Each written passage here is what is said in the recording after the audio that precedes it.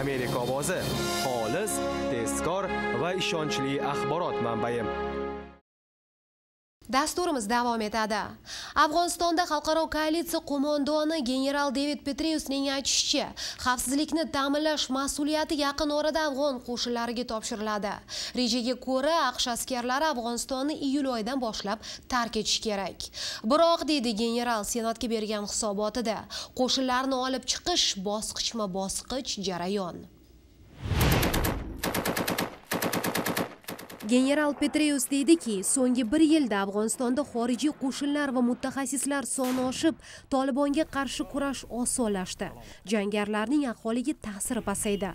Qandahor va hilmand kabi ilgari jangarilar nazorat ostida bo'lgan viloyatlarda ahvol ancha barqarorlashgan. Yetmish tumanda mahalliy politsiya kuchlari tashkil etilgan. Aqsh armiyasi afg'on askarlarini tayyorgarlikdan o'tkazmoqda. Afg'onistonda hozir amerikaning bir yuz ellik ming askari bor. Iyul oyidan boshlab vatanga qayta boshlaydi. Prezident barak obama bu borada shoshma shosharlik bilan ish tutmaslik kerak deydi. General petreus ham shu fikrda. Qo'shinlar chiqdimi ular afg'onistonga qayta olmaydi. Ularsiz afg'onistonda vaziyat izdan chiqmasligi zarur. Shu bois ham ishni bosqichma bosqich amalga oshirgan ma'qul afg'oniston prezidenti hamid karzay birinchi bo'lib qaysi tumanlar afg'on kuchlari nazoratiga o'tishini shu kunlarda e'lon qiladi.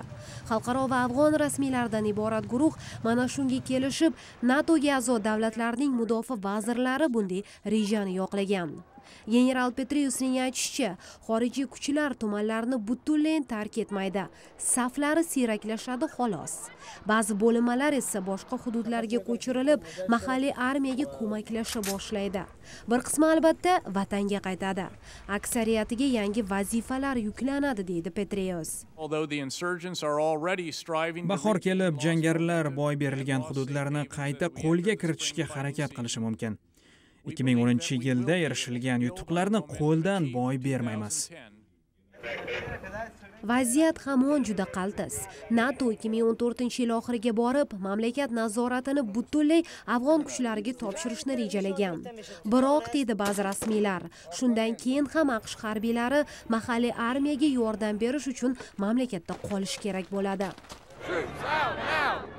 Yevropada urushga sabr toqat anchadan beri yo'q ekan. Amerikada ham shu ahvolga guvoh bo'lasiz. Washington post gazetasi va abc news telekanali birgalikda o'tkazgan ommaviy so'rov natijalariga ko'ra amerikaliklarning uchdan ikki qismi urushga butkul qarshi. So'ralganlarning yetmish besh foizi esa qo'shinlarning katta qismi shu yiliyoq afg'onistonni tark etishini istaydi. Omma kayfiyatini tushunsa bo'ladi. o'n yildan beri urush qilyapmiz. qancha pul sarfladik? ko'p vatandoshlarimiz qurbon bo'ldi. mayib majruh bo'lganlar o'ndanda ko'p. biroq urushdan asosiy maqsad nima ekanini esdan chiqarmasligimiz lozim. axir al qoida afg'onistonda in qurib tolibon homiyligi ostida edi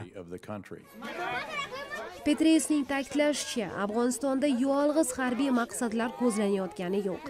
Davlat boshqaruv tizimi yaxshilanmas, korrupsiya ildiziga bolta urilmas, siyosiy kuchlar murosa qilmas ekan, birgina qurol bilan g'alabaga erishib bo'lmaydi.